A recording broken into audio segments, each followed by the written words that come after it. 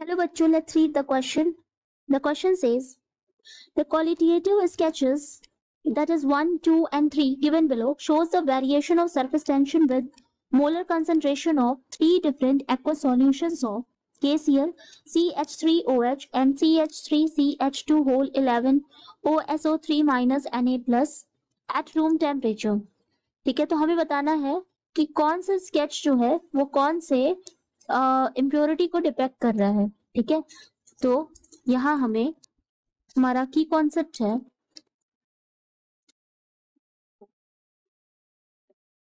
Key concept is effect of impurities on surface tension affect of impurities on surface tension ठीक है? तो question में पूछ रहा है कि तीन स्केचेस दे रखे हैं ठीक है? हमें बताना है कि जो वेरिएशन ऑफ़ सरफेस टेंशन है विद मोलर कॉन्सेंट्रेशन ये जो ग्राफ है कंसेंट्रेशन एंड सरफेस टेंशन के बीच का ठीक है? तो हमें यहाँ बोल रहे हैं कि थ्री डिफरेंट एक्वा सॉल्यूशन दिया हुआ है तो कौन सा जो है वो आ, कौन से ग्राफ को बताएगा? The key concept is effect of impurities on surface tension तो जो इम्प्योरिटीज है वो सरफेस टेंशन को अफेक्ट करती हैं क्योंकि ये देखा गया है कि जो इम्प्योरिटीज हैं they tend to concentrate on the surface of liquid ठीक है? एंड फिर क्या होता है कि कंपेयर टू इट्स बल्क ये क्या करती है कि सरफेस टेंशन को कम कर देती है। So so,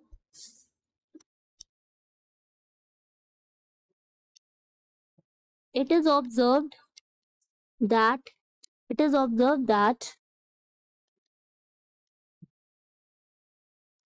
impurities which tend to concentrate on the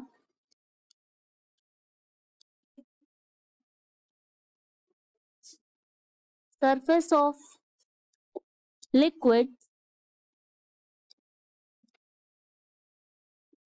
compared to its bulk lower the surface tension ना इसको समझने के लिए हम एक ग्राफ बनाते हैं, ठीक है, जिसमें हम सारे ही इम्प्योरिटीज का एक साथ जो है वो देखेंगे। तो this is our surface tension on y y axis and the concentration on x axis. So, ये जो है ग्राफ हमारा जाता है तो जो स्ट्रॉन्ग इलेक्ट्रोलाइट्स होते हैं ना, वो सरफेस टेंशन को इंक्रीज करने का काम करते हैं। तो ये है हमारा इलेक्ट्रोलाइट्स ठीक? Now this is for the solvent this graph represents the solvent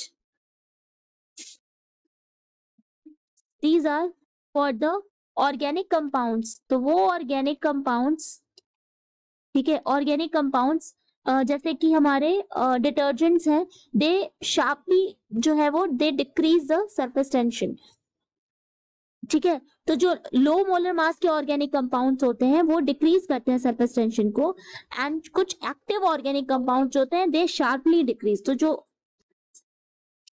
sharply decrease करते हैं, वो हमारे ये हैं. तो these are the surfactants these are the surfactants तो ये हमारा ग्राफ है. तो नाउ हमने यहाँ पे क्या देखा? कि जो हमारे स्ट्रॉन्ग इलेक्ट्रोलाइट्स हैं strong electrolytes such as KCl ठीक है? क्वेश्चन में KCl गिवन है। तो ये क्या करेगा? ये इंक्रीज कर देगा। It will increases the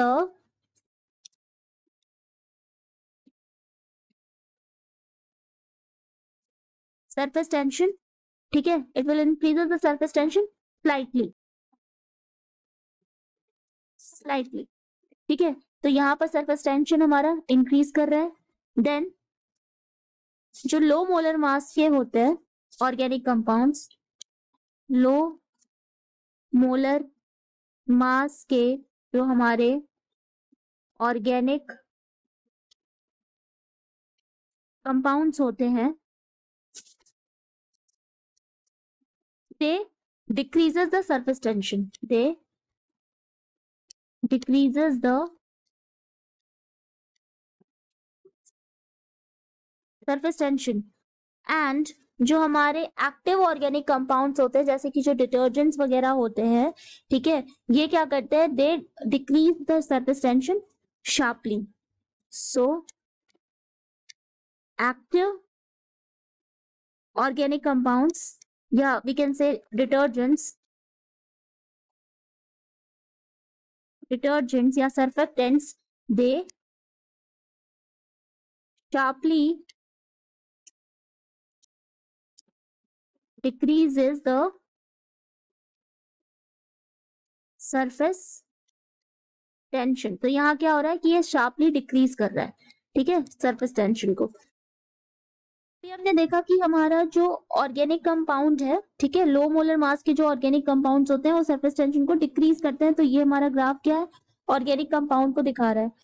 यहाँ पर हम देखें तो फ़र्स्ट ग्राफ जो है वो ऑर्गेनिक कंपाउंड को दिखा रहा है। तो पहला कौन सा होगा हमारा? लो मोलर मास का ऑर्गेनिक कंपाउंड है that is C H three O H है, ठीक है? तो फ़र्स्ट ग्राफ किसको दिखाएगा? फ़र्स्ट ग्राफ दिखाएगा C H three O H का है।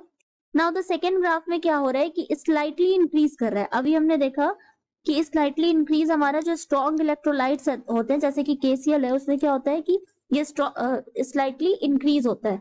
ठीक है? तो हमारा जो सेकेंड है, ये स्लाइटली इंक्रीज कर रहा है तो ये हो जाएगा हमारा KCl and the third one इसमें क्या हो रहा है कि ये डिक्रीज करने का काम करते हैं शार्पली डिक्रीज करने का काम करते हैं, जो सरफेक्टेंट्स होते हैं। तो ये हमारा क्या है सोप है डिटर्जेंट है। तो ये क्या करेगा? शार्पली डिक्रीज करने का काम करेगा सरफेस टेंशन को। तो थर्ड ग्राफ जो है, वो बता रहा है हमारा सरफेक्टेंट्स को, ठीक है? सरफेक्टेंट्स यानी हमारा डिटर्जेंट है। तो अब हम ऑप्शन में अगर देखें तो फ़र्स्ट है हमारा C H three O H second है हमारा K C L and third है हमारा ये detergent so the final answer is D So the final answer is D. Hope you understand it well. Best of luck.